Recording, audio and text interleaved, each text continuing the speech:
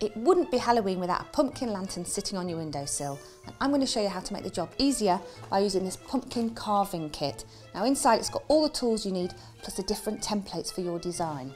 the first thing you need to do is choose the right pumpkin.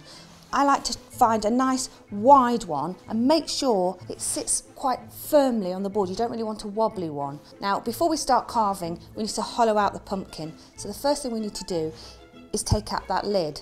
Just go round the top and just so that you know where to put it back, make yourself a little indicator, like a little bit that sticks out. Once that's clearly marked, start by using a sawing tool. I'm just going to make a little incision so I can get the saw in and then holding it at an angle. When we put the lid back on, we don't want it to drop through. So it's a good idea to hold it at an angle like that and then saw. So I'm just continuing round our lid should be loose. So let's just try and ease it off. Oh, and then out it comes. And we'll just pull those bits off. Now if you look inside, there's lots of stringy bits of pumpkin and quite a lot of seeds and we need to get rid of all of that.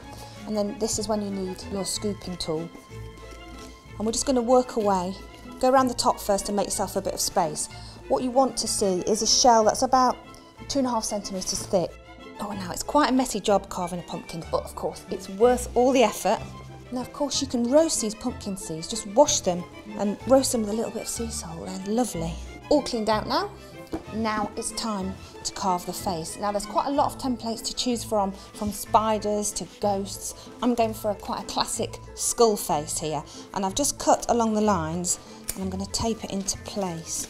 So just position it now, of course, if you're talented in the art department, you could just draw on a design using the crayon. But for me, much easier just to use a paper template and cut round it.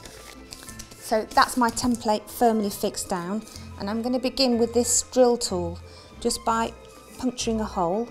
And you can continue making holes every two or three millimetres. Or if you want to, you can use the wheel here and just press it down. You've got to go through the paper, so you need to be quite firm. Now I've got to the teeth, which are quite an intricate part of my design here. So really take your time and mark them out carefully because they're a really important, crucial part to making our lantern looking spooky. Now that's my template completely marked out, so I'm just going to remove the paper. now you can see his face all ready now for carving. Push all the way through, and that's just so that I can get the saw in. Angle it slightly upwards and you can move the pumpkin as you saw as well which makes it all a little bit easier. There we go. I'm just in the last little section of my teeth. To make it easier I'm just going to saw down to make it into sections and then just remove it a piece at a time. There we are.